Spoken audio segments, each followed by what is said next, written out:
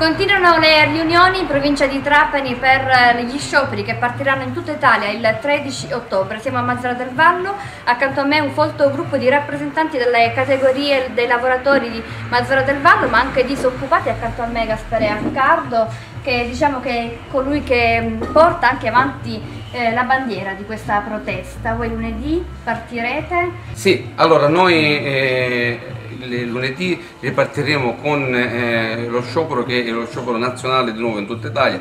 Mazzara è stato sempre negli ultimi anni eh, sempre presente con le manifestazioni, con le proteste. Eh, abbiamo portato l'ultima volta 12.000 persone e abbiamo port eh, portato il rispetto di tutta Italia. Tutta Italia eh, vede Mazzara come eh, una città attiva nella protesta perché Mazzara era la, la capitale della pesca, era la perla del Mediterraneo, ora è un, in abbandono totale, quindi eh, la gente partecipa perché sente molto questa, questa, crisi, quindi tutte le altre città, Milano, Torino, eh, Roma, che hanno portato 2, 3 mila, 4 mila persone eh, nelle piazze hanno visto una partecipazione così ampia, hanno portato rispetto e io da allora non mi sono fermato con tutti gli altri ragazzi, abbiamo girato con incontri, con progetti, perché non è soltanto eh, la protesta eh, in sé, c'è il continuo, c'è la progettualità, quindi noi abbiamo deciso che che il 13 in tutta Italia, in tutte le prefetture d'Italia, verranno consegnate delle denunce al prefetto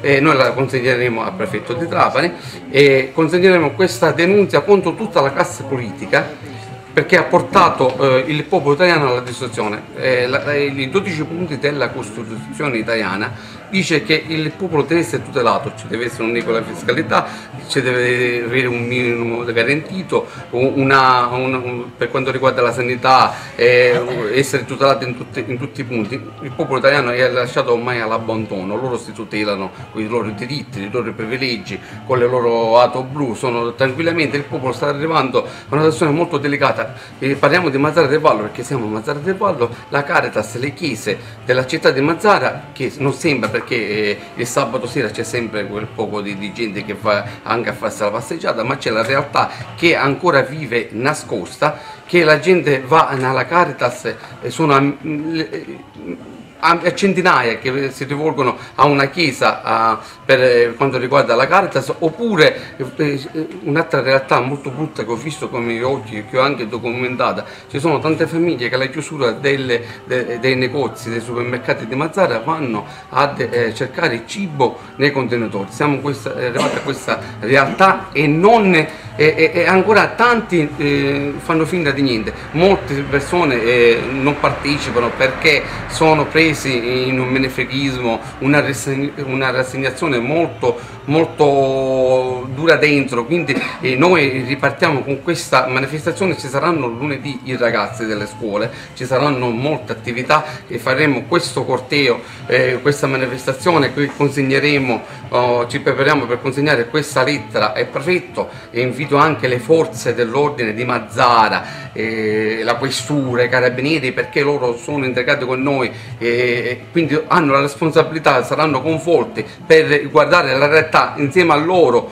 del, del, del, del discorso della crisi nella città di Mazzara del Vallo. La partecipazione sarà molto importante, giorno 13 a Mazzara del Vallo, l'appuntamento è in Piazza della Repubblica, per quale motivo partecipare? Invitiamo la cittadinanza a partecipare. Allora, invitiamo la cittadinanza a partecipare intanto perché tutte qualsiasi tipo di categoria siamo a collasso. Io sto parlando delle categorie dell'edilizia.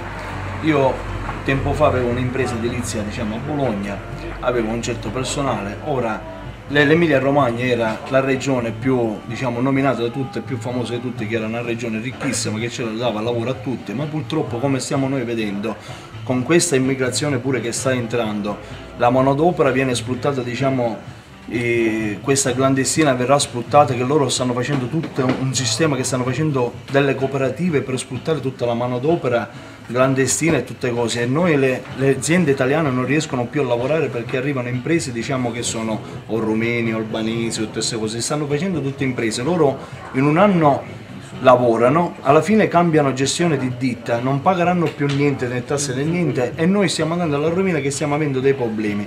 Poi un'altra Un'altra particolare diciamo, dello Stato che il sistema cosa sta adottando diciamo, nel, specialmente nel nostro settore dell'edilizia che non si, non si, riesce più a costruire e a vendere più appartamenti perché anche se tu vai a fare un lavoro statale che appartiene dello Stato, loro cosa ti obbliga? Diciamo tu presenti delle fatture, quando presenti delle fatture ti pagheranno loro fra due anni, però loro ti richiedono a te l'anticipo dell'IVA per l'anno precedente, dipende che lavoro hai, sono totte di cifre, eh, l'acconto per l'IMPESI diciamo, per le persone, addebitare diciamo, l'acconto per, per, per il prossimo anno sono tutte queste situazioni, diciamo tu se non hai fondi e non hai soldi, automaticamente cosa fai? Ti vai a rivolgere a un istituto bancario. Un istituto bancario quando ti mette degli interessi, automaticamente tu non ce la fai a prendere... Si crea un circolo vizioso Bravo, lo Stato che ti crea tutto questo sistema, tu automaticamente sei costretto a fallire se non hai fonti dietro e qualcuno ti garantisca. Allora è fatto tutto diciamo un insieme per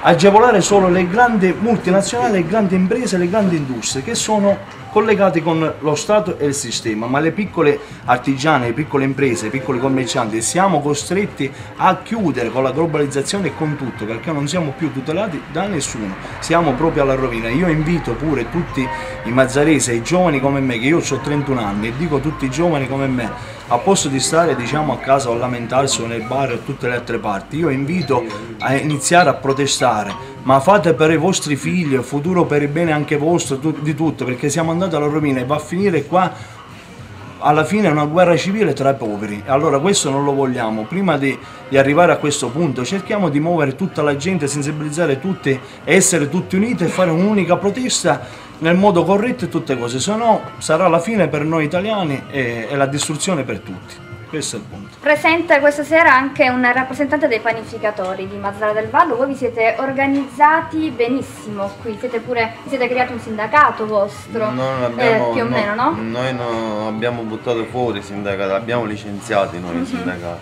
Siamo fatti una costituzione solo per le 37 attività, siamo associati, per il discorso siamo noi contro la, la le multinazionali e la liberalizzazione Bersani che ha portato questo paese da sei anni in Italia l'ha portato in povertà. Voi parteciperete tutti il giorno 13? Noi parteciperemo e sosteniamo la, la protesta perché non è, se non gira l'economia non girano neanche le imprese e non ce ne saranno neanche occupazioni.